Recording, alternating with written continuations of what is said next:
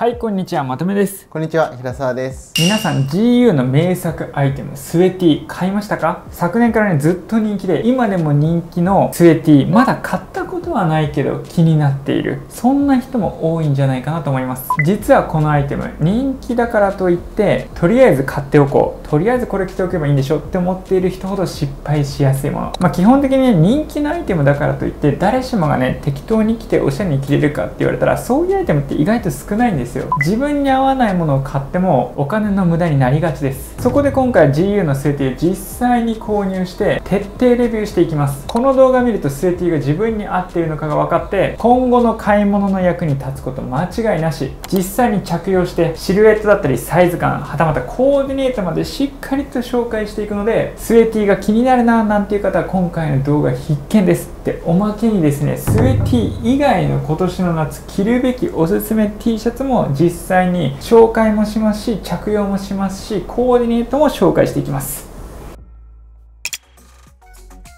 というわけでスウェティはこちらですね。お値段が1490円。さすがの GU 価格でお安いですね、はい、安い。1500円で買えるのか、うん、安い。1500円で T シャツ買えるってなったらどれだけひどいもんが出てくるんだって、まあ、昔の感覚だったら思うと思うんですけどすごいよね、うん、これ1500円かよっていうぐらいクオリティ高い。いや本当ですね。もうなんかちょっと慣れてきちゃってるけど ユニクロも GU もねもう本当安くていいものがどんどん出る時代になってしまったんで。GU で T シャツで1500円って言ったら別に安くくないのか、うん、990円とかあるもんね。確かに。GU としては多分コストをかけて開発したシリーズに当たるのかもしれない。なるほど。もう昨年から本当大ヒット中の大ヒット、うん、T シャツといえばっていうぐらいヒットしてるアイテムなんですけど何なのかって言われたらスウェットと T シャツの合いの子みたいな感じで、うんうん、夏って言ったら普通半袖 T シャツ着用すると思うんですけどそれだけじゃ今の時代ちょっと物足りないよねっていうところで火がついてこれを待っていたっていう人がいっぱいいたんでしょうね、うん。うん、大ヒット、はい、で今年ちょっとバージョンが変わって、修正が入って2023年も今も大ヒット中、うん、まあどんなアイテムなのかっていうとまあ結構名前の通りで T シャツとスウェットの合体みたいになっててどこにスウェット要素があるのかっていうと今年のモデルに関して言うとディテールがスウェットになっています、うん、まあそれも昨年も引き続きそうだったんですけど例えばここね V 字のガゼット、まあ、いわゆる汗止めとも言われるスウェット特有のディテールなんですけどここですね。だったり裾とか分かりやすいかな。リブになってたり、はい、スウェットシャツってリブになってるじゃないですか。これなぜなのかっていうと、まあ、スウェットシャツとかってトレーニングウェアだったんで冷気外気が入らないように、はい、袖とかはねこうすぼめてシャットダウンしてるわけですよ、空気が入らないように、なんで裾がリブになってたりとか。でこれは袖はリブになってないんですけど横はリブになってる、まあ、のチャンピオンのスウェットシャツとか思い返すようなスウェットのディティールになってるわけなんですけど、うん。うん、こういった感じでスウェットシャツのディテールを随所に散りばめながらでも T シャツっていうのがスウェッ T っていうアイテムになっています。でこれがなんで今年去年すごい人気なのかっていうと、まあ、数年前まで結構昔はノームコアっていうすごいシンプルなね、はい、えー、トレンドがあったわけなんですよ、うん、白の無地 T シャツに黒のスキニーパンツみたいな。すごくシンプルなファッションが良しとされる好まれる時代だったところから、はい、いわゆるスティーブ・ジョブズみたいなああその通りですね、はい、本当にシンプル、うん、そこからだんだんだんだんその無地ファッション飽きてきたって人が派手なファッションに移行していって、はい、現代は相当派手でカジュアルなファッションになってるんで、うん、ちょっと無地っていう物足りないよね。でも派手すぎると大人着れないよねっていうところでスウェットシャツのディテールを取り入れたと、うん、これぐらいだったら全然派手じゃないじゃん、はい、リブとかだったら、うんうん、特に黒無地だったらね、はい、もう普通に着れるじゃないですか。でも無地 T と比べたらちょっとやっぱ違うわけですよ。装飾性がある。これがやっぱねヒットの要因になったんじゃないかなと思います。なるほど。もうちょうど絶妙なラインってことですね。そうなんです。シンプルすぎず派手すぎないみたいな。いや本当誰でも着れるけど、うん、まあなかったよねみたいな。確かに。で1500円で買えると、うん、えで昨年大ヒットしたんですけど昨年はもうちょっと素材とかもスウェットシャツ寄りだった、うん、今回は素材は完全にもう T シャツになっていて、はい、ディテールでスウェットシャツのディテールあるよねっていう感じなんです。なん。で今年は結構薄めになっていて、まあ、コットンポリの素材なんですけど、まあ、コットンっぽいですね素材感でいうと、はい、T シャツのコットン地みたいになっていてそこに本当スウェットシャツのディテール足したっていう感じになっています、うん、なんか商品名だけ見たら、うん、スウェットの T シャツバージョンだと思ってて、うん、ちょっと夏に暑そうだなってイメージがありましたなるほど、はい、結構がっつり T シャツですね、うん、ほぼ 100%T シャツといってもいいかな。生地がスウェットシャツと T シャツの間って思わないで生地はもう T シャツだと思ってください、なるほど。じゃあ夏も問題なく着れちゃうわけです、ね、夏も問題なく着れます。昨年ははちょっとスウェットシャツの風味もあったんですけどね。今年は全然ないということで。なるほど。素材感に関してはでもチープとかは全然なくてすごくいい素材感ですね、うんはい、1500円でこの素材感なら誰も文句ないと思います、うん、それぐらいすごいです。ということでそんなスウェティなんですけど実際に着用したらどんな感じなのかっていうのを着用してみたのでご覧ください身長170センチ体重55キロの僕が L サイズ着用してこれぐらいのサイズ感このようなシルエットになっています。横から見るとこのようになっていて後ろはこんな感じです。はいということでスウェティのシルエットの話をしたいと思うんですけど特徴としては袖丈ですね。袖丈結構長めになっていて肘が隠れるぐらい結構がっつり長め。かつ袖幅も太くなってます。で身幅もしっかりとあるんですけど着丈はそこまで長くなくてしっかりと詰まった感じになっています。で全てが大きいと結構ダルダルな印象になって着せられてるような印象になりやすいんですけどどこか1箇所だけでもそんなにビッグシルエットじゃない部分っていうのがあると意外と収まりがいいんですよ。例えば着丈は長くて袖丈も長いけど身幅はそこまででもないとか着丈長くて身幅も太いけど袖丈はそんな太くないとか。こういった感じでどこか1箇所がねそこまでビッグシルエットじゃないと意外とビッグシルエットの洋服でも着こなしやすかったりします。という点でスウェッTは今っぽい緩さがありつつも着やすいそんな感じのシルエットです。半袖 T シャツでいうとユニクロのエアリズムのコットンオーバーサイズ T がまあ有名じゃないです。かめっちゃ有名ですね。それと比べてシルエットどうですか？えー、基本的なシルエットの作りすごく似ていてあれも袖丈とか袖幅がしっかりと太くて身幅もあるけど着丈はそんな長くないよっていう。でネックも詰まってるから結構ビッグシルエットだけで合わせやすいよっていうね、まあ、似た作りのシルエットなんですけどこちらのスウェッ T って裾がねリブになってるんで全体の印象がねフォルムがちょっと丸っこくなっている。裾がこうすぼんでるんでこの部分でシルエットの大きな違いっていうのが現れているかなと思います。実際に着てみた着心地は違いありますか？着心地はエアリズムの方が結構いいかな。普通の T シャツって感じですねこっちは。はいということでスウェーティーを使って簡単なコーディネートを組んでみました。まあ本当にね誰でも真似しやすいぐらい簡単なコーディネートなんですけど半袖 T シャツのコーディネートを作る時って子供っぽいアイテムで合わせない方が合わせやすくて大人っぽいアイテムをねチョイスした方がいいんですよ。例えばスウェーティーにショートパンツとかサンダルとかでカジュアルで子供っぽいコーディネートで合わせるとおしゃれに見せにくいものなんですけどそうじゃなくて例えばパンツフォーマルなね大人っぽい印象を与えてくれるスラックスにしてあげたりとかサンダルを使うにしてもレザーのサンダルにしてあげるとかコーディネート全体の色数をしっかりと抑えてあげるとかそういった工夫をして大人っぽくコーディネートするのがおすすめです。で今回のコーディネートで言うとパンツはスラックスになってますし靴はサンダルなんですけどレザーになってるし全体のコーディネートの色数2色に抑えています。こんな感じで半袖 T シャツを攻略したい時は他のアイテムを大人っぽくすることがおすすめです。でもう少しね今回のコーディネートを踏み込んでお話しすると2 2色のコーディネートなんですけど同じ黒でも結構違う素材感の黒を使っていてまず T シャツコットンポリエステルのブラックなのに対してこのバッグはリモンタナイロンのブラックでシボレザーのブラックがあったりちょっとねマットなブラックが入ってたりとかガラスレザーのサンダルねブラックが入ってたりとか同じ黒でも素材感全部変えることによって奥行きっていうのを出しています。でもう一つのポイントとしてはやっぱりしっかりとサンダルを履くことですね。こういったフルレングスのパンツを着用すると結構重たい印象に夏はなりやすいんですよ。でもサンダルにしてあげるだけで一気に抜け感が出せて季節感を出すことができます。日本ってやっぱ春夏秋冬の四季があるんでその季節感にのっとったコーディネートした方がおしゃれに見せやすいんですよ。例えばこれで分かりやすい話で言うとこの夏なのにコートとか着てたらたとえかっこいい格好だったとしても変じゃないですか。季節感って意外と重要なんで皆さんには是非ね気をつけてほしいなと思います。で夏で季節感出したいって思ったらサンダルさえ履いておけば大丈夫です。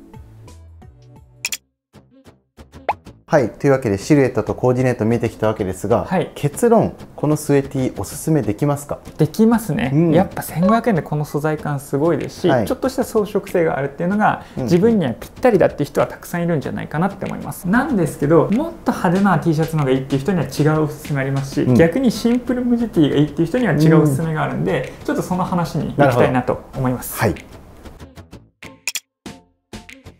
というわけで、はい、シンプルな T シャツが欲しい人はこれですね。エアリズムコットンオーバーサイズ T シャツ。こちらの方がよりシンプルなんで、うん、そういった T シャツを求めてるって人はスウェッティじゃなくてこっち買った方がいいかな。っていうところがあります、はい、まあ、簡単に、はい、えー、こちら紹介していくと、まあ、デザインはいわゆる無地のクルーネック T シャツ、うん、スウェッティみたいな無地のガゼットとか汗止めとかないですしリブとかもないと、はいとてもシンプルな作りになっています、素材に関しては表地が高級名するコットン地になっていて、裏はエアリズムっていうところでスウェッティと比べても快適性っていうのはこちらの方がより上ですね、うん、せっかくなんで並べてみました、うん。まあ、こうやって見ると分かりやすいかな。こことかね主張ちょっと違いますよね、はい。裾も違うし横のリブも違うし、はい。でもそれ以外はほとんど一緒。そうですね。シルエットも似てますもんね。シルエットもこの後ヤリズムコットン着るんですけど、はい。かなり似てますうね、ん。まあ本当好みで、うん。ちょっとデザイン性が足したければこれを選ぶって感じですかね、その通りです。はい、着用。はい。見てみましょはいということでエアリズムコットンオーバーサイズ T シャツ XL サイズ着用でこれぐらいのサイズ感シルエットになっています。横から見るとこのようになっていて後ろはこんな感じです。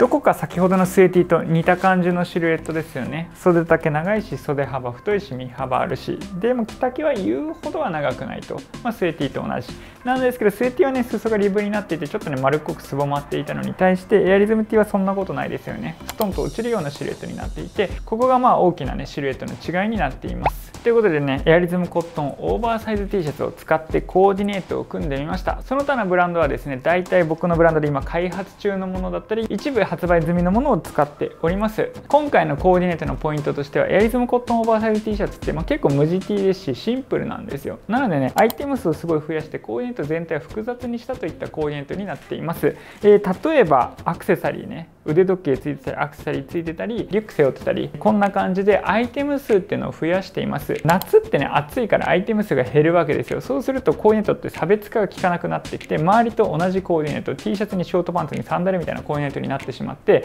差別化が効かないと。で差別化が効いてない状態っておしゃれに思わせることができない状態でもあるのでどうすればいいかっていうとこんな感じで小物でアイテム数を足していくっていうのがとても重要です。で小物以外にもね実は足せるポイントがあってそれがタンクトップ。こんんな感じでレイヤード用のタンクトップ1枚持っておくと T シャツの、ね、中にね忍び込ませることができてこれだけでねちょっと周りの人と違ったコーディネートを作ることができます、まあ、今のコーディネートって言ってしまえば T シャツにショートパンツにサンダルっていうすごいシンプルなコーディネートのはずなんですけどリュックがあったりアクセサリーがあったりレイヤードしてることによって全然普通じゃなくなってますよね、えー客観性を保つも差別化が効いたコーディネートになってるんで万人におしゃれに思われやすいコーディネートになっています。ちなみにこちらのね、えーサルエル気味の、えーハーフパンツこちらも、現在制作中の今後リリースする予定のアイテムなんですけどちょっとこれだけ完全に失敗サンプルになってるので、まあ、ちょっともうちょっとシルエット変わるということだけちょっと覚えていただければなと思います。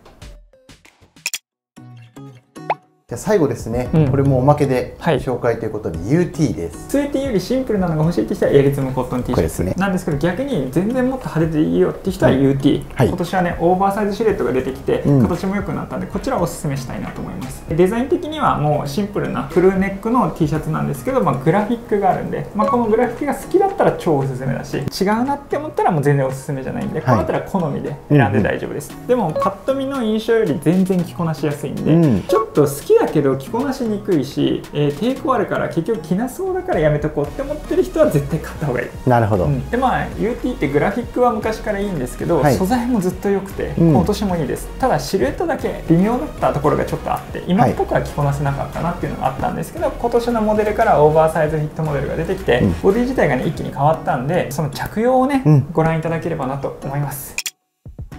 XL サイズ着用でこれぐらいのサイズ感シルエットになっています。横から見るとこのようになっていて後ろはこんな感じです。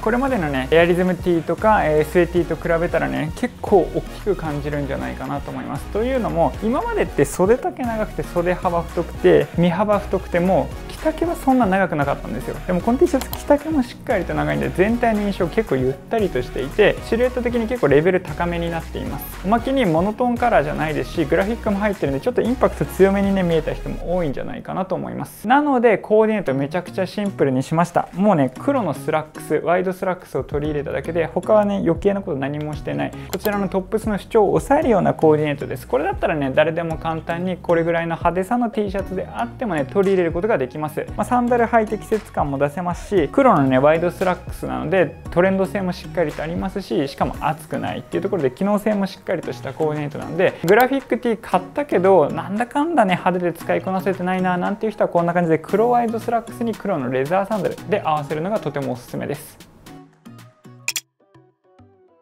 というわけで今回はスウェティをメインにあと2つの T シャツを紹介してきたわけですが、うんはい、まとめさん的なまとめが欲しいです。まとめさん的なまとめでいくと、はい、まずスウェティおすすめです。なんですけどもうちょっとシンプルなの欲しいって人はエアリズム T シャツ、うん、逆にもっと派手なの欲しいって人は UT がおすすめになっているんで、まあ、この3パターンを押さえておけば、まあ、みんなどれかはねハマると思います、うん、なのでこの動画をぜひ参考にしていただいてこの3つ自分にはこれだなっていうのをね見つけていただいてコーディネート悩んだ時はぜひね今回コーディネートも3つ作って、えー、紹介したのでそちら見返していただければなと思います。ちなみに僕の YouTube チャンネルで以前エアリズムコットン T シャツ完全解説動画めちゃくちゃね苦労して撮った動画がとんでもなく大変でしたよね。とんでもなく大変全サイズ確か着用したり、はい、シミがどれぐらいつくかみたいなそうですね。水で濡らしてどれぐらいで乾くかみたいな。検証とかもした動画があるんで、はい、ぜひこの機会にね合わせて見ていただければなと思います、ます。えー、ご視聴いただきありがとうございました。